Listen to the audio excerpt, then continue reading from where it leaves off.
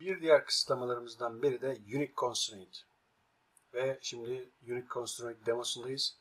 Ee, Bunun için bir tablo oluşturacağız. Ee, Aslında sadece iki tabloyla ama aynı tablonun iki farklı versiyonuyla e, bu örneği tamamlayacağız. Nedir bu? Create table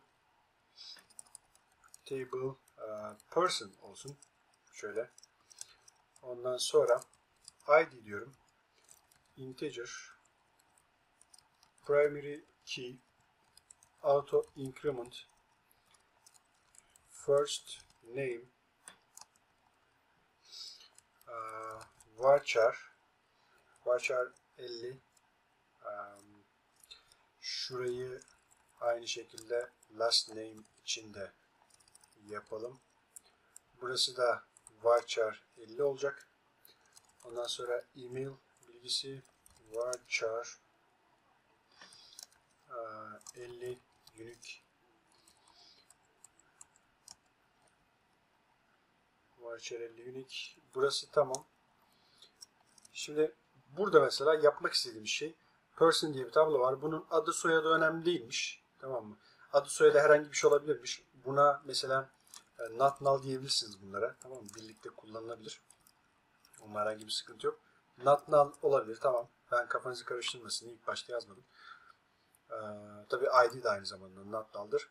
Ee, ama mesela e-mail bilgisi her kullanıcının, her kişinin e-mail bilgisi diğerinden farklıdır. Bu kesindir.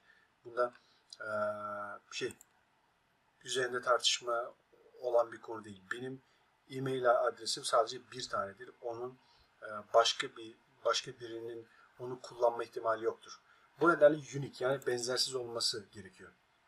Bu nedenle mesela siz e, herhangi bir web sitesine vesaire giriş yaparken e-mail ve password kullanırsınız. Yani sizin e-mail adresiniz size aittir. Unique'tir. Burada da mesela onu bu şekilde sağlıyoruz. Bu sistemde diyelim 1 milyar üye var. Biz Facebook'un veri tabanını tanım, tanımlıyoruz, e, tasarlıyoruz diyelim. E-mail tarafında e, e-mail sütununa sadece unique yazacağız. Yani neyi tasarlarsanız tasarlayın.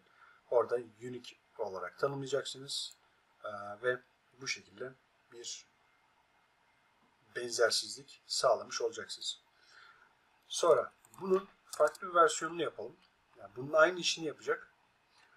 Aynı şekilde çalışacak. Ama birincisi sütun üzerinde değil. Şu şekilde ayrı, bağımsız bir şekilde yapacağız. Nedir bu?